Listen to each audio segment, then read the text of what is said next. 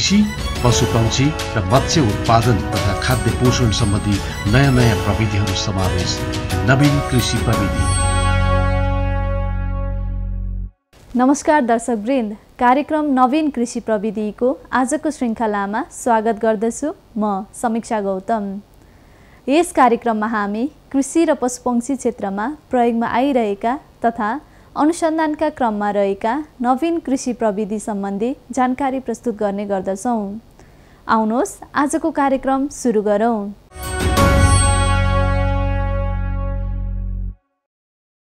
आजको कार्यक्रममा हामी मौरी घार निरीक्षण तथा मौरीका लागि कृत्रिम आहार व्यवस्थापन कसरी गर्न सकिन्छ भन्ने जानकारी प्रस्तुत गर्दैछौँ।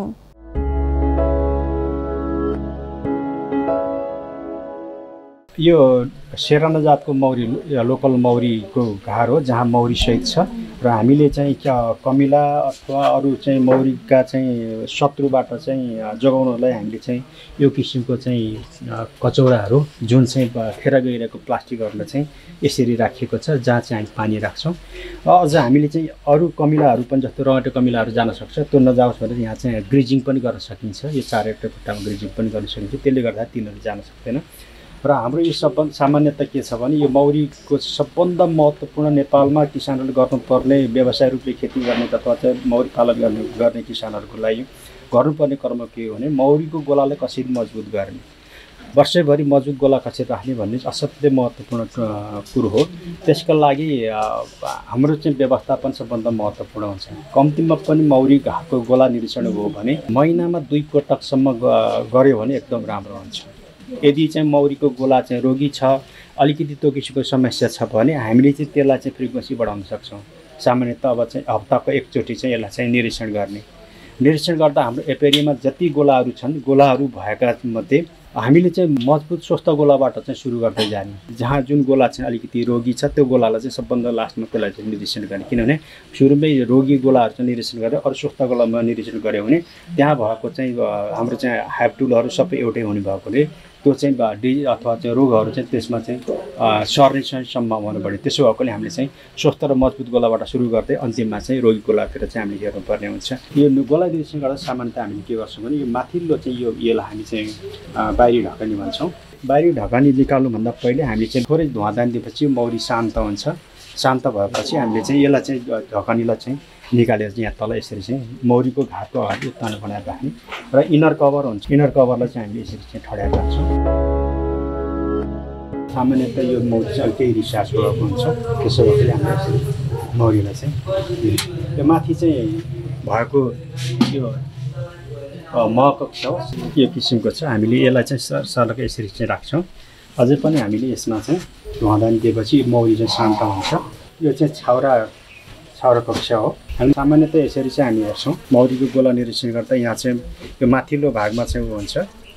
मह हुन्छ त्यसपछि कुट हुन्छ तल चाहिँ छाउरा हुन्छ। तर अहिले यहाँ चाहिँ बच्चा र छाउरा चाहिँ के अरे देखिएको अवस्था चाहिँ छैन। पुरै चाहिँ यसले खानेकुरा चाहिँ जम्मा गरेको छ। नेक्टरहरू जम्मा गरेको अवस्था चाहिँ छ। यसरी नै यो दसवटा फ्रेमहरू चाहिँ भरिसकेपछि हामीले चाहिँ सिजनमा हामीले चाहिँ माथिको चाहिँ मह कक्ष दिन सक्छौँ।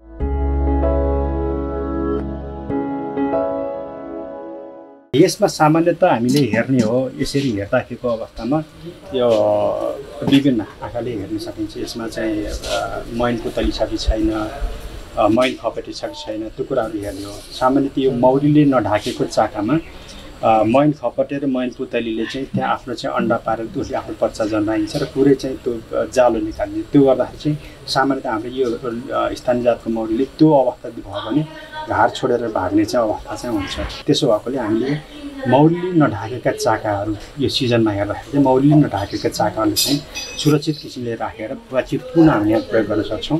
यसरी नै यसलाई चाहिँ निरीक्षण गर्दै त्यो रोग र किराको के छ त अवस्था त्यसलाई चाहिँ निरीक्षण गर्दै यदि छ भने त्यो त्यो गोलालाई हामीले हामीले गर्नुपर्ने चाहिँ ट्रिटमेन्टहरू त्यो ट्रिटमेन्ट गरेर हामी चाहिँ राख्न सक्छौँ। यो मौरीमा देखिने भनेको चाहिँ नेपालमा यो युरोपियन फाउल ग्रुपको चाहिँ समस्या बढी छ। त्यो भनेको चाहिँ खाली कोष जुन कोष खाली छ त्यो खाली कोषमा चाहिँ त्यो छाउराहरू चाहिँ अलिकति अस्वस्थ देखिने अब चम्किलो सुकिलो चाहिँ हुनुपर्ने ठाउँमा अलिकति त्यो घुरमैलो अथवा चाहिँ त्यो अलिकति घिउ कलरको भएर त्यो त्यसको चाहिँ खाली कोषमै लार्भाहरू चाहिँ मरिरहेको अवस्था देखिने हुन्छ त्यसपछि सामान्यतः हामी हेर्दाखेरि त्यसको गन्ध नै नमिठो किसिमको गन्ध आउँछ। अमिलो गन्ध आउने त्यो भएर चाहिँ यसलाई फाउल ग्रुप भनिएको हो। यसको समस्या चाहिँ सामान्यतः यो मेडिफेरा र सेरेना दुइटैमा चाहिँ देखिन्छ। नेपालको किसानले भोग्दै आएको समस्या भनेको चाहिँ किराहरूमा चाहिँ यो मैन पुतली मैन खपटे सँगसँगै त्यो सुलसुलेको पनि समस्या छ। सुलसुलेमा पनि तिन किसिमको सुलसुले छ। अन्त आँखाले देख्ने र नदेख्ने हेर्ने दुई किसिमको चाहिँ त्यसलाई भन्न सकिन्छ।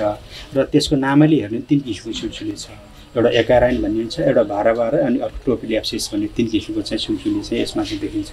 यी सुलसुले भनेको चाहिँ यसले चाहिँ भारा भारा चाहिँ ट्रोपिल्याप्सिस चाहिँ बच्चाको चाहिँ कोषमा रहेर त्यो बच्चाको शरीरबाट त्यसले चाहिँ रगत चुसेर बच्चालाई चाहिँ अपलाङ्ग चाहिँ बनाउने हो कि। भोलि गएर त्योबाट जन्मिने चाहिँ माउहरू पनि त्यति मजबुत हुँदैन बलियो हुँदैन। त्यसले गर्दाखेरि त्योबाट चाहिँ उत्पादन गर्ने चाहिँ क्षमता पनि ह्रास भएको अवस्था हुन्छ।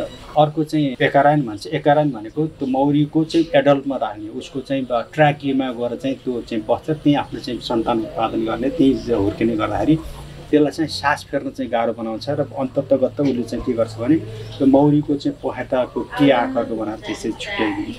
त्यसले गर्दाखेरि मौरी चाहिँ घर्सेर हिँड्ने उड्न नसकिने। त्यसपछि त्यो मौरी यदि चाहिँ यो के अरे एकाराइनबाट चाहिँ समस्याग्रस्त हो भने हामीले चाहिँ त्यसलाई चाहिँ कुनै रङ्ग लगाएर यसलाई चाहिँ भित्र छोड्यो भने त्यो चाहिँ फेरि चाहिँ यो प्रवेशद्वारबाट बाहिर आइरहेको अवस्था चाहिँ हुन्छ। हामी चाहिँ हाम्रो चाहिँ यसको उपचार भनेको के हो भने गोलालाई मजबुत बनाउनु। गोलालाई मजबुत बनाएर वर्षै पछि हामीले चाहिँ रानी चाहिँ चेन्ज रिक्विनिङ भन्छौँ रानीलाई परिवर्तन गर्ने हो।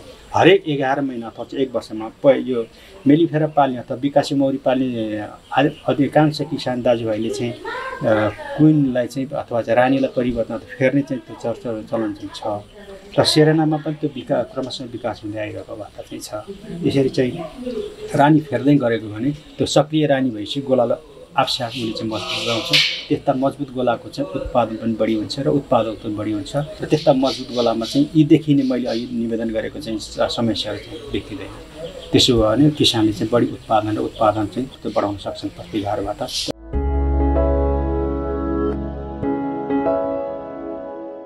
रिटुनिङ गर्ने दुईवटा सिस्टम एउटा चाहिँ हामी पोस्ने ल्याएर हामी राखिदिन्छौँ अर्को चाहिँ भाले लागेर चाहिँ मेटेड क्विन छ। त्यसलाई चाहिँ के के गर्छौँ भने केजमा ल्याउँछौँ। रानी पिजडा ल्याएर यसमा चाहिँ हामी राख्छौँ। यो यो यसले सिधै चाहिँ त्यसलाई चाहिँ राख्नुभन्दा पहिले चाहिँ यसलाई चाहिँ रानीविहीन चाहिँ बनाउनु पर्ने हुन्छ। रानीविहीन चाहिँ कम्तीमा चाहिँ बहत्तर घन्टा पहिले। यसलाई चाहिँ रानीविहीन बनाइसकेपछि अनि त्यो हामीले चाहिँ नयाँ रानी यसलाई चाहिँ ल्याएर दिने हो। रानी दिएपछि यसले चाहिँ तुरुन्तै चाहिँ त्यो हामीले केजमा दिने अनि त्यसपछि त्यसको गतिविधि के छ त्यसलाई हेर्ने हो कि। सहजै यसले चाहिँ ग्रहण गर्यो भने त्यसलाई चाहिँ छोडिदिने होइन भने यसले चाहिँ त्यो रानीलाई मारिदिन सक्छ। त्यसो भएकोले कम्तीमा केजिङ सिस्टममा चाहिँ त्यही यसमा राखिदिने राखिसकेपछि अनि पछि त्यसले चाहिँ राम्रो व्यवहार देखाउन थाल्यो। यो मौरीहरू चाहिँ त्यो रानीमा चढ्न छोड्यो। अब त्यसलाई चाहिँ राम्रोसँग बिहेभ गरेको चाहिँ देखायो भने अनि त्यो रानीलाई हामीले चाहिँ राखेर त्यसलाई चाहिँ रिक्वेनिङ सिस्टम। यदि हामी रानी कोष ल्याएर ल्याएको छौँ भने त्यो एउटा छेस्किने हुन्छ त्यो अड्याउने हुन्छ। त्यसले यो दुईवटा फ्रेमको बिचमा चाहिँ हामी राख्छौँ। यसरी राख्दाखेरि चाहिँ यसले चाहिँ सहजै रूपले ग्रहण गऱ्यो भने अनि त्यसलाई चाहिँ हामी चाहिँ केजबाट निकालेर त्यसलाई छोडिदिन्छौँ यो चाहिँ यहीँ के अरे ह्याच हुन्छ। ह्याच भइसकेपछि अथवा रानी निस्किन्छ। रानी निस्केपछि यहाँ भाले मौरीहरू प्रशस्त हुनुपर्छ। भाले मौरी भएपछि यहीँको मात्रै होइन अरू घाटको पनि भाले मौरी हुन्छ। त्यहाँबाट चाहिँ यसले चाहिँ रानी चाहिँ मेटेड भएर चाहिँ फर्किन्छ। रानी जन्मिएको दुई दिनदेखि पच्चिस दिनभित्रमा त्यो वैवाहिक उडानमा जान्छ। उडानमा गइसकेपछि अनि त्यो भाले लागिसकेपछि फर्किएको अवस्था चाहिँ हुन्छ। चरणको चाहिँ क्षेत्र चाहिँ त्यति धेरै विस्तार भएको पाइँदैन र किसानलाई मैले के के अनुभव गर्न चाहन्छु। कम्तीमा चरण क्षेत्रलाई पनि सँगसँगै विस्तार गर्नुपर्ने चाहिँ मैले जरुरी चाहिँ देखेको छु।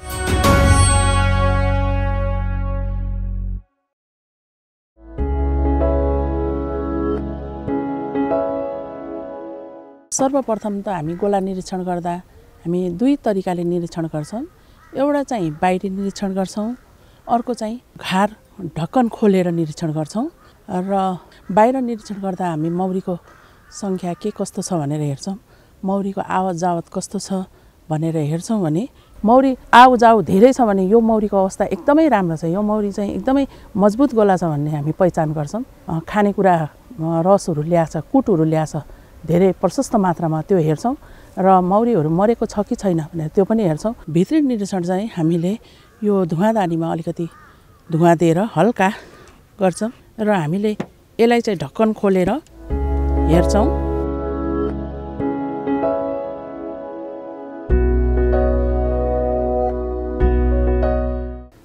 हामी हल्का धुवाँदानी दिन्छौँ।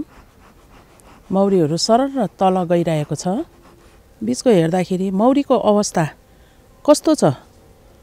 मौरीलाई के भइरहेको छ भन्ने बारेमा हामी जानकारी लिन्छौँ। रानी मौरीले फुल पारेछ कि पारेको छैन भन्ने अवस्था हेर्छौँ पहिलो जानकारी।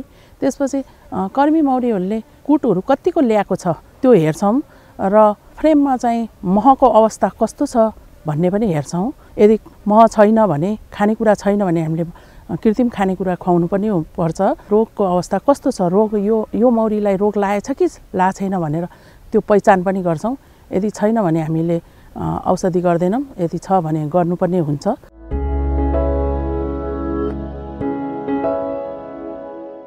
हामीले गोला निरीक्षण गर्नु गर्नुभन्दा अगाडि धुवाँदानी दिन्छौँ। ताकि मौरीहरू सबै तल जाओस् हेर्न हामीलाई गोला को मौरी हेर्न फ्रेम हेर्न सजिलो हुन्छ। र हामीले सर्वप्रथम त फ्रेमलाई हेर्छौँ।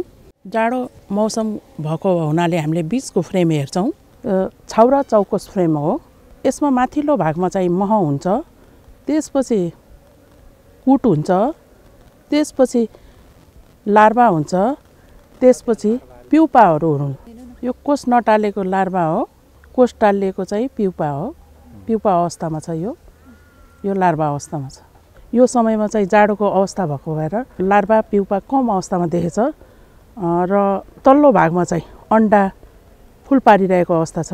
मौरीले मह खोजी गरिरहेको छ।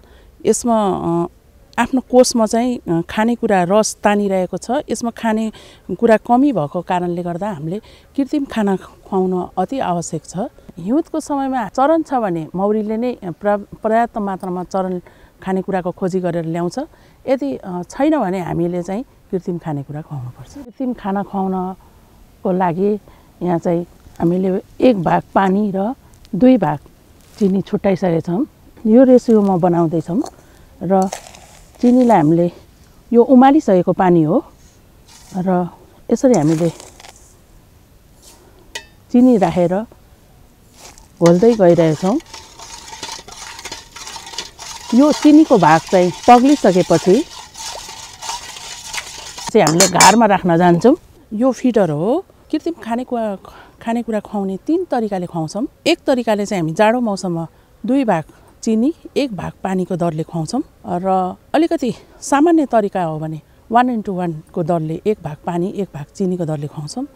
र अर्को हाम्रो गर्मी मौसममा चाहिँ दुई भाग पानी एक भाग चिनीको दरले खुवाउँछ यसरी हामी सामान्य तयमा तिन तरिकाले खुवाउने गर्छौँ र अहिले हाम्रो जाडो याम सुरु भएको हुनाले हामीले चाहिँ यसमा दुई भाग चिनी एक भाग पानीको दरले यसमा राखिन्छ। यसमा हामीले कृत्रिम चास्नी राख्दाखेरि यो छेस्काहरू माथि आउँछ तैरेर र यो माथि बसेर मौरीहरूले रस चास्नी खान्छ जसले गर्दा मौरीहरू डुब्दैन। यो कार्य चाहिँ हामीले जहिले पनि बेलुका पख गर्नुपर्छ। दिउँसो दिनु हुँदैन। यो फिडर चाहिँ हामी जहिले पनि साइडमा छेउमा राख्ने गर्छौँ। मौरीलाई जाडोको समयमा बोराको ऱ्यापिङ गर्छौँ। बोरालाई यसरी ओढाउँछौँ। बोरालाई हामीले जाडो भएको कारणले गर्दा हामीले मौरीलाई यस्तो गर्छौँ र यसरी हामी व्यवस्थापन गर्छौँ।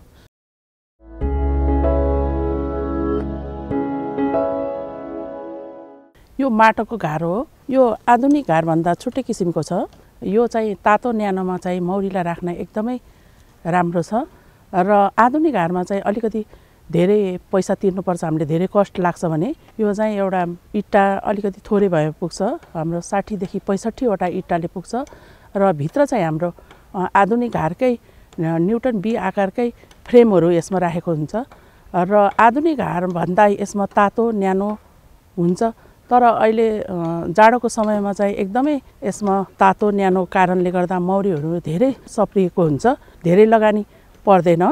र यसमा चाहिँ एउटा ज्ञान र सिपको आवश्यकता पर्छ। ज्ञान र सिपको आधारमा चाहिँ यो बनायो भने हामीलाई एकदम सस्तोमा मौरी पाल्न सजिलो हुन्छ व्यवसायीहरूले। यो चाहिँ स्थानीय स्रोतहरू प्रयोग गरेर कम लगानीमा बनाउने गरिन्छ। यहाँहरूलाई आजको कार्यक्रम कस्तो लाग्यो? कार्यक्रमबारे कुनै सल्लाह सुझाव वा कुनै प्रतिक्रिया भएमा हामीलाई सम्पर्क गर्न नबिर्सिनुहोला। हस् त कार्यक्रमबाट म लगायत हाम्रो सम्पूर्ण टिमलाई बिदा दिनुहोस्। अर्को साता यस्तै जानकारीमूलक कार्यक्रम लिएर फेरि आउनेछौँ। नमस्कार।